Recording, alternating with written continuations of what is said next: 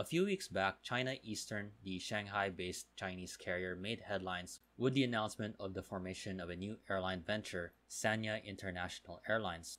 The new joint venture will be in cooperation with Junyao Airlines, its subsidiary, along with other Hainan based and Chinese firms, with the intention to serve the island, which has become known as China's Hawaii, a preferred destination for mainland Chinese visitors.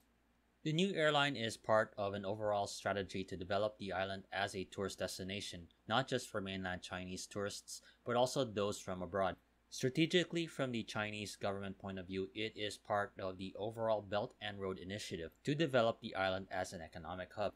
So, for that reason, Hainan is a part of a new series to highlight some of the emerging or develop destinations, and plans to build up more aviation and travel demand to and from there, which I will simply call the Destination Development Series. Located along China's southeastern coast, Hainan Island just lies south of the mainland of China, directly north of the disputed islands of the South China Sea. With a land area of around 35,000 square kilometers, it is comparable in size to Belgium as well as to Taiwan. The southernmost province of China has two main cities the city of Haikou, the capital, located on the northeastern part of the island, which has a nickname of being the Coconut City, as along with being the administrative capital of the province, it also exports agricultural goods. Then there's Sanya on the southern part of the island, which hosts the beach resorts for tourists looking to hang out at the beach or to explore the natural and scenic attractions. This island has been known as China's Hawaii for the right reasons, as it has been reported by local authorities that the island in 2018 welcomed around 76 million visitors, mostly from mainland China. Though the island is accessible via cruises and yachts, the vast majority of travelers will likely pass through either of the three main airports serving the island. The first airport is the Haikou Meilan Airport, which is the busiest in the island and the 17th busiest overall in China in 2019 when it served around 24 million passengers. Serving as the main base for Hainan Airlines, the HNA Group airline, it also happens to be recognized as one of the best airports in China, being one of the two Skytrax 5-star airports in the country along with Shanghai's Hongqiao Airport. Along with Haikou's airport is Sanya Phoenix, which served around 20 million passengers in 2019. Along with being served by Chinese carriers on domestic flights, there is a good number of international flights from Chinese and foreign carriers. The third major airport is Boao, which opened in 2016, primarily serving domestic flights on a much smaller scale compared to Haikou and Sanya. The last two decades has seen exponential growth in terms of tourist arrival numbers to the island, and recently, in line with the announcement of Sanya International Airlines, the Chinese central government has announced plans to develop the Hainan Island as a free trade port zone to go along with efforts to continue the development of the island's tourism industry well into 2050. Prior to this announcement, there has been steps taken to boost the local economy through tourism and develop the aviation infrastructure. In 2018, the Chinese government announced a visa waiver for citizens of 59 countries for a 30 day visa free stay in Hainan Island.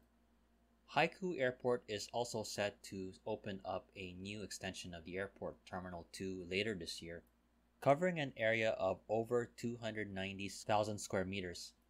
The ADPI designed terminal is expected to boost the capacity of the airport by 18 million passengers per year. The other major airport development that is set to begin soon is the development of the new Sanya Airport set to be built offshore along Hongtang Bay, which is closer to the hotels and resort areas. The new airport has been named the Sanya Hongtang Wan Airport, with a subsidiary owned by Hainan Airlines leading the effort to build the airport, which will have an estimated cost of over 100 billion Chinese yuan. With plans for the airport to have four runways and three terminals when fully completed, it is estimated that the capacity will be around 40 million per year. However, being an offshore development, it has drawn some environmental concerns for habitats of white dolphins and the location was next to a coral reef reserve, forcing a delay which set back the development of the airport and plans for trial flights by 2020. The new airport in Sanya is expected to be one of the two hubs for the new Sanya based airline, which the Chinese central government does hope that it will become part of a much larger success of the island as a travel and economic hub of not just China but also throughout Asia. Interestingly enough, the plans to develop the island has been reported to emulate the success of both Hong Kong and Singapore, both major economic and aviation hubs in Asia.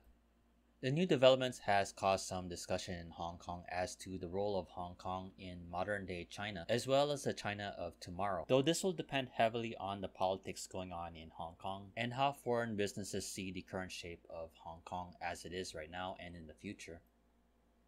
China's impact on the global aviation industry cannot be understated, with predictions that it will become the largest aviation market in the 2030s and a growing number of outbound travelers.